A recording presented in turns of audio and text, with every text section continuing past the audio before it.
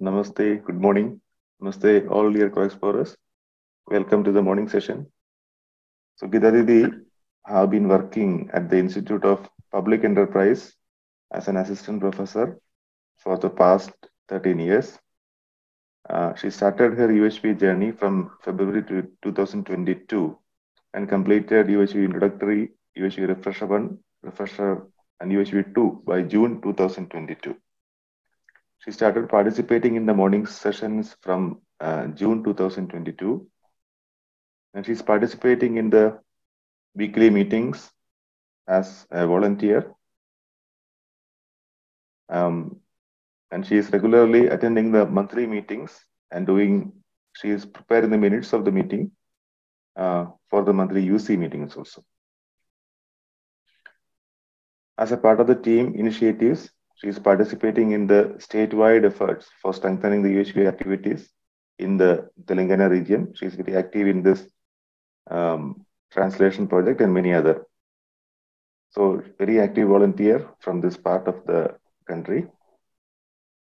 Um, with this brief introduction, I welcome Geeta Potaraju Didi for sharing in the morning session. Didi, over to you. Please have a look at the indicators. Thank you. Thank you very much, Bhaiya. So, a very good morning to all of you. My name is Geeta Potaraju. As Bhaiya has already introduced, I am working at the Institute of Public Enterprise. I reside at Hyderabad with my family, uh, consisting of my husband, daughter, mother, mother in law, sister in law, and her family. We all are living together at, in one location. So, uh, Bhaiya has already shared about the UHV journey, which I started in February 2022. It was uh, just uh, as an institutional requirement that I was asked to attend the workshop. And once I did the introductory workshop, then the rest of the workshops I did on my own, both the UHV refresher 1 and UHV 2. And I completed one after the other. By June 2022, I completed UHV 2 and I started participating in the morning meetings also. So uh, it was as if uh, uh, the institute just facilitated me uh, to mm, come in touch with the UHV content. I was actually waiting for this to happen to me. So I'm very happy that I am a part of this uh, process. So I'm able to see that my self exploration journey has definitely begun. And there are some small shifts also that I'm able to see within me. It may not be very significant, but surely it has uh, started. Um, according to the points that have been given here to share my shift in understanding, uh, the first one is about human being. So before UHV, uh, my view about human being was uh, the physical form, person related to me, not related to me, neighbor, outsider, tall, short, all this was the only thing that a human being was for me. But after UHV, uh, my outlook has changed. Now I'm able to see that human being is is a coexistence of self and body. This concept, this idea has now uh, sunk into me. Now I'm able to see this, differentiate these two things: coexistence of self and body and the needs and activities of the self and body are different also i'm slowly able to see.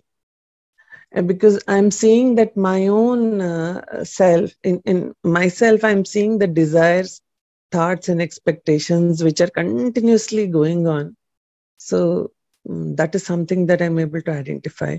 And my conduct also is dependent on how i'm feeling. That is something i'm able to very clearly see uh, and I also i am able to uh, see that this effort which I am doing uh, in this journey, the the knowledge that I'm uh, gaining through the UHV is very necessary because that's how the capacity of myself will also increase so that there is some definite conduct so that I am in harmony all the time. So I'm able to appreciate this aspect for sure now. The second thing about nature, uh, before I started UHV, I was, uh, I don't know, I was not interested in knowing anything about uh, nature except that um, if there are some beautiful trees and flowers, I would just look at them. But there was nothing beyond that that was happening in me. I couldn't see any connect between me and anything uh, in nature. And the four orders, I didn't know anything about the four orders and uh, how they are interconnected, how they are um, sustaining. So I didn't know anything about these things. But after UHV, I'm able to see the connection between me and all the other units that are around me in the nature. I'm able to actually feel that. So, and I have very interestingly, I have started la- enjoying uh, spending time closer to the nature. For example, I got an opportunity to go to Godavari Institute uh, along with Sunil Bhaiya. The kind of campus they had, they had so many trees, they had so many fruits, so many flowers, cattle just next to my room. I could see so many cows. There was a cow shed. I thought this was such a beautiful place to live. I really enjoyed those three days. I never thought about anybody in my family. I just forgot that there is some work that also I have to do. I really enjoyed. So that was a very beautiful place, and I've started enjoying uh, being closer to the nature. And I used to feel averse to get my feet muddy, go into mud and all that. But that has gone now. I don't mind uh, making my feet uh, muddy. In fact, uh, I also, along with my husband, uh, two weeks back, I visited Kakinada. He ha- they have some small uh, lands there. So I visited there. I spent some time. It was so beautiful, and I'm able to enjoy that. I can see that. Um, but I'm not contributing. I, I have to be. Uh, this one important thing that I'm not contributing. I can't see contributing anything to the nature as of now. I'm not doing anything. Uh, but I'm just seeing the connection. That's where I am.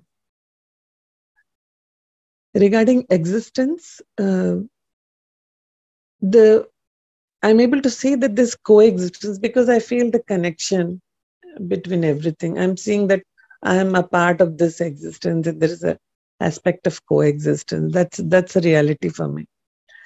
Uh, this feeling also stays briefly, and sometimes, and then sometimes I'm this in my uh, routine. I'm just doing some random things, and I forget about it. Sometimes I get this feeling that I'm connected with everything this has come to me, uh, this information has come to me through UHV. So I'm mulling over it. I'm surely mulling over it. I'm, I'm, I'm thinking about it. Sometimes I can feel it, but other times it goes. It's not constantly there. I'm not able to see the submergence of units. I'm not able to do that as of now. But I'm open to work on this aspect. I want to continue this effort and uh, I want to do it. I'm definitely interested in going that far. Uh, another thing, struggle for existence is not a concept that I will now um, be anywhere uh, closer. I will not agree to this because earlier it used to be like that that you have to struggle, you have to study, you have to get some degree, you have to get a job, you have to get married, you have to have children, you have to have money. Everything was struggle. But now i'm not accepting this uh, i'm seeing people around me. In fact my own child struggling. Mm, and i uh, instead of telling her because i was also struggling in that age. So instead of telling her don't struggle i'm at least trying to uh, demonstrate that life is not a struggle. So i'm trying to do that. Um, So, this is about existence that I'm developing and understanding. because in existence all the units are coexisting then where is the struggle? Every self every unit has a definite path. So there are there's no conflict in the journey. So everybody has their path and they're com- comfortably moving on that. That's the that's the uh, the, that's the view that i am developing regarding human conduct uh, before attending uhv um, I had no great idea about what human conduct was, except that there were some values, surely, that my parents taught me uh, how to behave and other things. I was definitely following that. But then this large, big picture was not in front of me. I just had to do respect elders, don't abuse, and something like this. These small things, don't steal, don't cheat. These things uh, I knew but i couldn't see the big picture that it is not just not cheating but then you know and seeing the bigger connection is also uh, is actually human conduct i didn't know this so after attending uhv sessions for more than a year i'm able to see uh, this relationship uh, that exists. Another very important thing when it comes to human conduct now i'm able to see my because it's the feelings within that is driving the whole uh, process of uh, the whole process. So i'm able to feel i'm able to see the feelings that i have whether the feeling of relationship is there whether feeling of opposition is there in in different different situations i'm able to see see that and i'm also i'm now uh, this has become a habit i now frequently check how I'm feeling. When I'm sitting in an auto and going, I sometimes check how am I feeling now. Just like that, I do. It has somehow become a habit.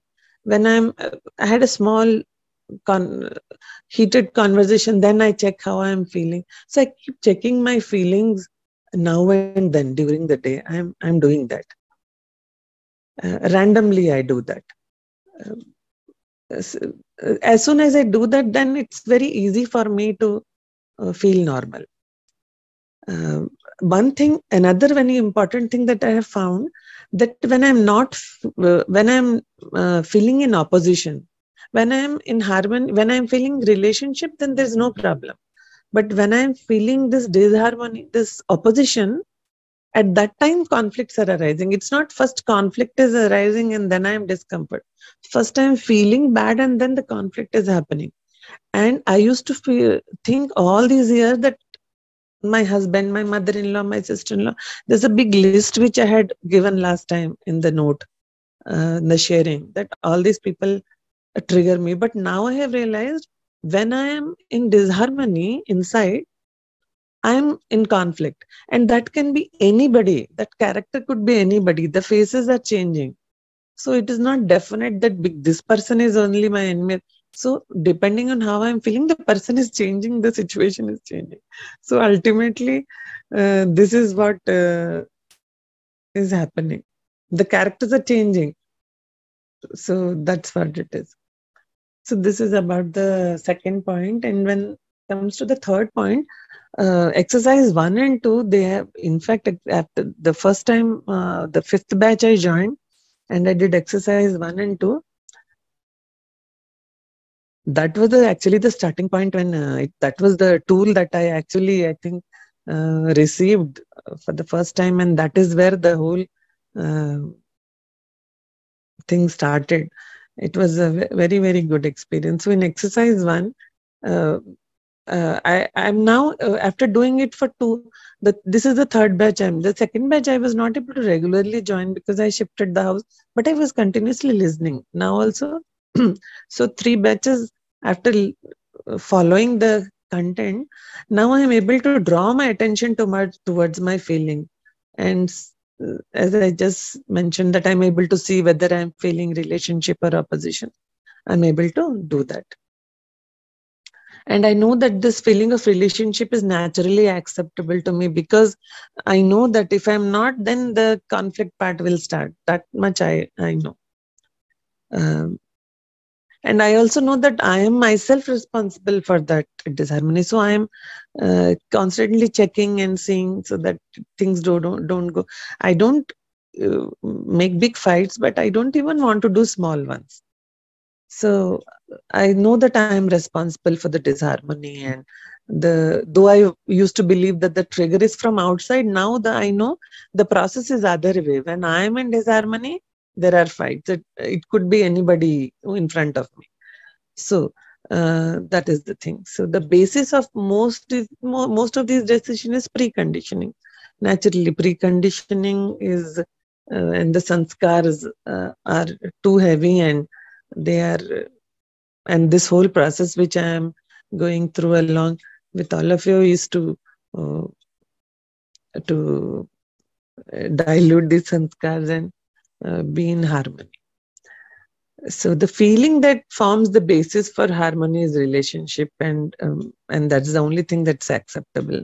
I'm totally in, uh, seeing this um, aspect very very clearly. I also see that some many of my thoughts and feelings have started. They have undergoing transformation because now I am able to. Uh, after all this, all these months, maybe more than a year, slowly I'm able to see what others are uh, saying or feeling. I'm able to see things. Before, I think there was I was blinded or I was doing everything. I I could tick everything. I was cooking, I was working, I was taking care of home, I, I was doing everything I could tick. There was nothing that I was missing. But I couldn't feel connection to the work that I was myself doing. But now I'm able to see what I'm doing. I'm able to see what the other person or what the other unit is, uh, what is happening to the other unit. That much I'm able to see. Uh, very clear. For instance, uh, I used to, uh, there is the lingering feeling of uh, uh, some some lingering dis, disharmony would always be there. I used to get up in the morning. I used to cook. I used to I I do cook well, and because everybody tells me at home that I oh, cook okay and they eat, but I was not feeling the joy. I was just doing, then just going to the office. Never liked my work. Never liked not that never liked, but most of the time disinterested. But now I am seeing there's some fresh lease of joy that has come inside. I'm able, to, even when I'm cooking, I'm seeing that the spices are mixing with the vegetable. I'm able to see that there is some new enthusiasm and that has come into me. And I'm so glad at this age now. I think I can go for a longer time uh, doing things with a lot of joy and i'm very happy about it i'm able to feel connect when i'm cooking i'm happy actually sometimes if the dish is coming out well i used to buy medicines for my mother. I used to do everything for her before also. But i never bothered about how she was feeling. I was only happy that she's safe. But now i'm going going beyond that. I sometimes see when i come back from work i see uh, she's sitting alone she's lonely. I'm able to see that.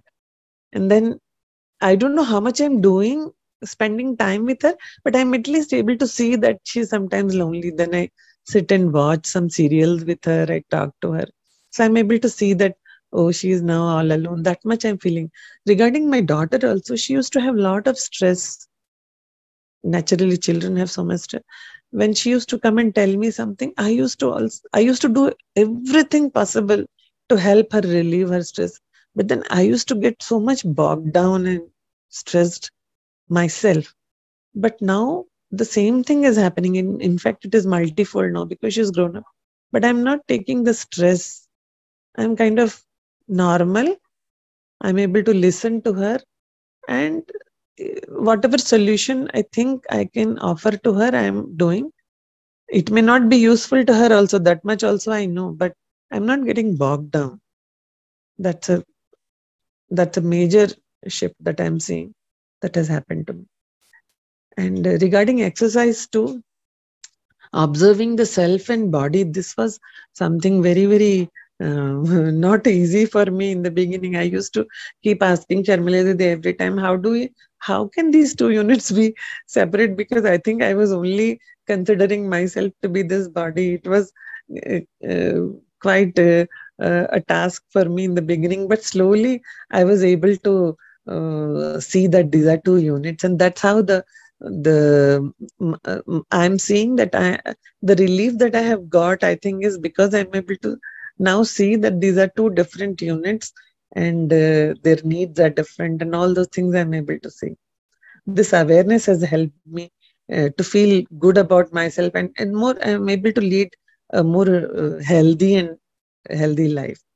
Uh, i am able to see this interaction between the self and the body uh, the exchange of information i'm able to see all this that uh, you know walking talking eating all these actions are the the basis on which i'm i'm seeing that this is the body.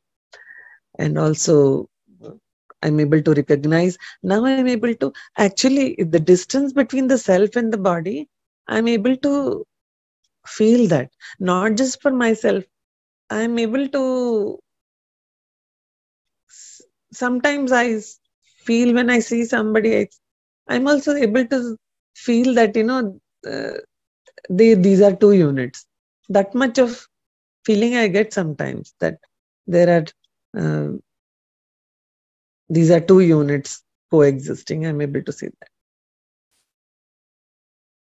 And others' behavior, the physicochemical changes and other events uh, have surely reduced their effects on me after I have uh, attended the sessions and the workshop.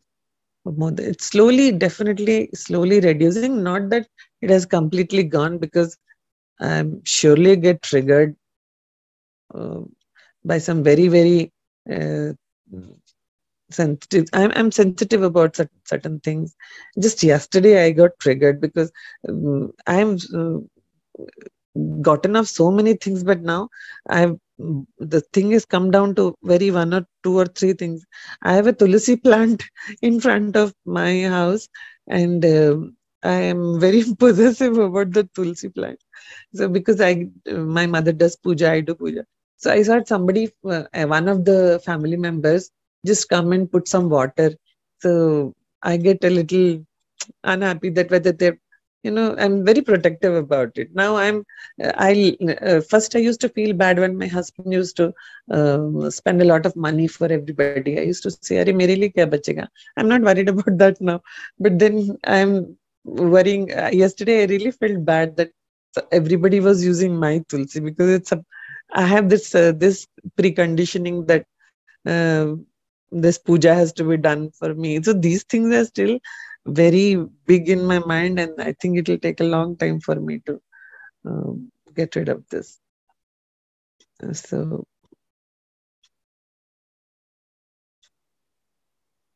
um, regarding the placement of self and body and space space is something that i'm i'm still not able to uh, submergence and all that i'm not able to see as yet but i'm willing to explore further on this.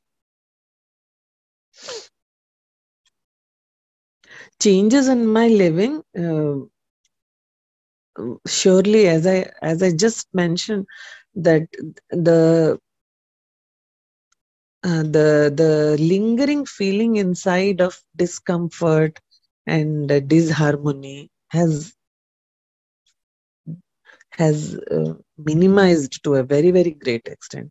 Before UHV, um, I was doing my routine work, but that underlying, that feeling was there, and that was uh, making everything, I was feeling bogged down, really bogged down. I was not, not showing it to anybody, but some somewhere inside, I was feeling that. But after this UHV, I got exposure to the UHV and my constant um, connection with the content I'm there's a lot of comfort that I'm feeling. I, there's a refreshing change in my life on the whole. I cannot pinpoint on something and say this this refreshing change has uh, uh, led to harmony in my relationships. joy in my day to routine work. I think that's the most important thing that I see. This is the biggest achievement because if I'm able to, because the normal things are the things that I'll have to do. If I'm able to cook happily, if I'm able to uh, look around things, now I'm not very uh, mm, fussy about um, getting new things or for UHV, there is a small room which I created, and uh, small. Uh, I want to do my sit there and do my work. So there was a chair lying. I took the chair. There was a my father had bought it uh, center table. It was lying for the 30, 40 years. I took that and kept. So otherwise, I used to just go buy one chair, table, and put there. But now that feeling has set in. Definitely, I'm not uh, wasting money that's why now i'm not bothered if my husband is spending money i don't care. But this i'm stuck with the tulsi plant. I hope i'm i get over that also. So this is and these changes are um, though my body is heavy my mind has become light now. And i'm feeling light even. I'm able to walk so well. Before i was not able to walk also much. I was just sit in the car go from here there uh, sit in the bus go sit in the auto now i'm walking i'm interested also in walking. I'm able to do work with my body feeling so much grounded. And i'm mm, very happy. So i want to continue that. So this is some this is one very important change that i see in my life. Commitment to uhv work. I'm actually spending uh, two to two and a half hours like that most of the days two to three hours. I started participating in the morning sessions from June fifth batch, and I'm continuing, and I will continue. I attend both English and Hindi sessions. I will continue attending morning sessions uh, always, and I participate in the weekend follow-up meetings, and sometimes I attend the ESIP and holistic health meetings. Also, I like to attend because there's so much of information that uh, sir gives there. I take up the roles as assigned to me and uh, voluntarily. Also, there are some things I do. As Bhaiya just now said, I'm um, noting the minutes and uh, there are uh, these these things I'm doing. I also do some other small roles depending on the requirement in the weekend meetings, and I'm uh, involved in other volunteering activities also. I do some calling and all that. Um, actually, Kumar Bhaiya had given us a list of uh, people in the uh, co-explorers in the morning session who had missed for some time. So I had uh, spoken to a couple of them, and uh, it was a very good experience. You know, I uh, I actually enjoyed talking to some of them because so many things uh, I could kind of learn so many things from them. There were one or two people. Um, Rathi, Uma Rathi Didi. I spoke to her. She was she spoke so so long with me, and she told so many nice things because she is associated with this for a very long time. So it was good conversation. So during this volunteering activities, there are so many benefits actually uh, for our personal growth because there are so many people who can contribute to our uh, well-being. So that it's a very good experience. I'm a part of the Telangana team, as Bhaiya said, and we are slowly uh, trying to build our team, though it's a very slow process, but we are uh, trying to do it. This is all I have to share about my UHV journey. Uh, thank you very much. Let us listen from uh, Shamla Didi regarding her remarks and comments upon the sharing of Geeta Didi and the questions. Shamla yes. Didi, over to you. Yeah. yeah. So very, very nice sharing, Gita ji. Thank you. Um, I can see that you have spent some time um, thinking about this, introspecting what you're going to share, and also to be able to put forward how your perspectives have changed you did it in a very honest, very sincere manner. And uh, I think, as many people have shared, many people could relate to it. I can also see the shift that you are mentioning uh, which is quite evident from your sharings, that a lot of exploration has gone into it, a lot of um, introspection, a lot of lot more awareness than before.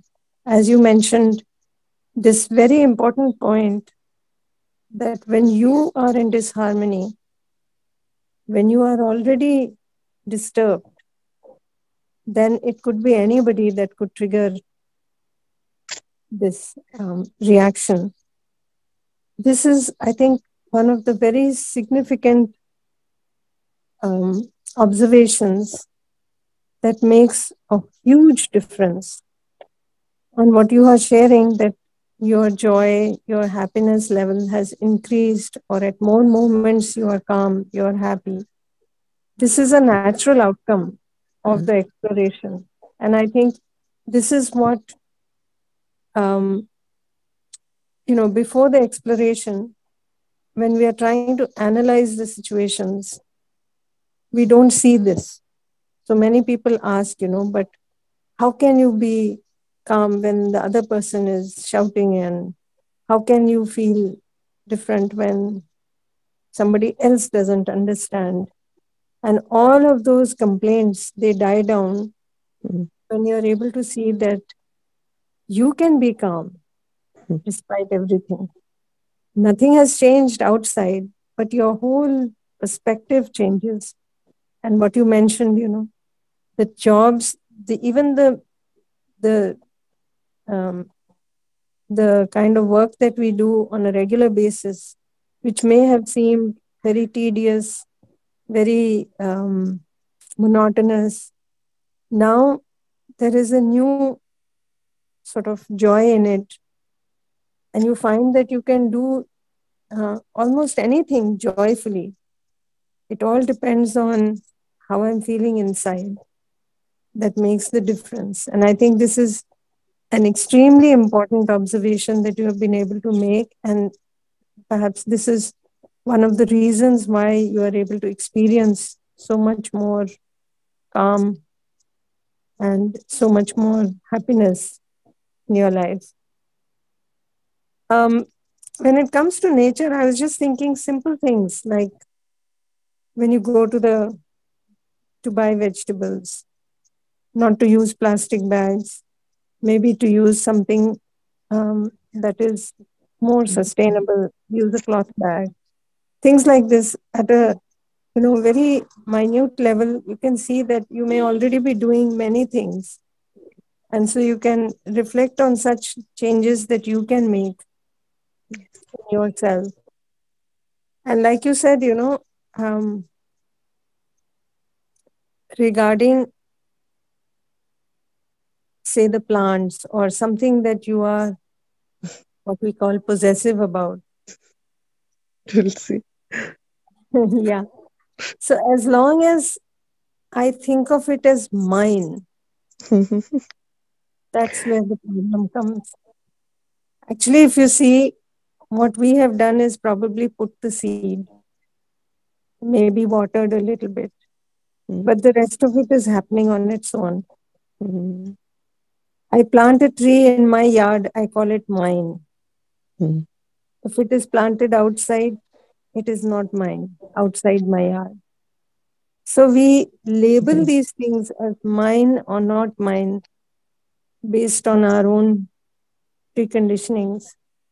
And that's where the problem starts. Mm-hmm. Because when I think that this is mine, I'm hesitant to share with others. But if I see it as a gift of nature, then I have no problem.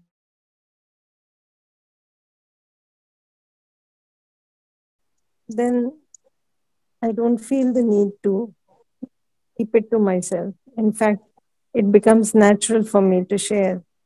So, but to be able to put this across sincerely, to be able to say all this, to be able to highlight your shortcomings and put it across in such a sincere manner, I think it was very nice to hear your sharing. And I was very happy to hear the changes that you have been able to experience from the earlier sharings till now.